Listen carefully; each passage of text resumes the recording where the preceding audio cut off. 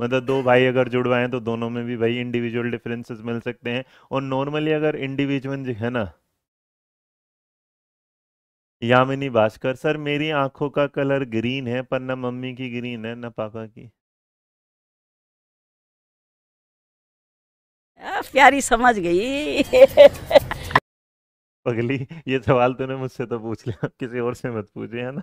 हाँ ठीक है, कोई बात नहीं। कभी कभी भगवान ना अंदरूनी शक्ति देता है तो उसने शक्ति दी होगी कि ले जाए जरा नाम ही यामिनी नहीं लिखे उन्होंने। मतलब मरो कान के पीछे कुछ भी बोलते रहते हो, है ना?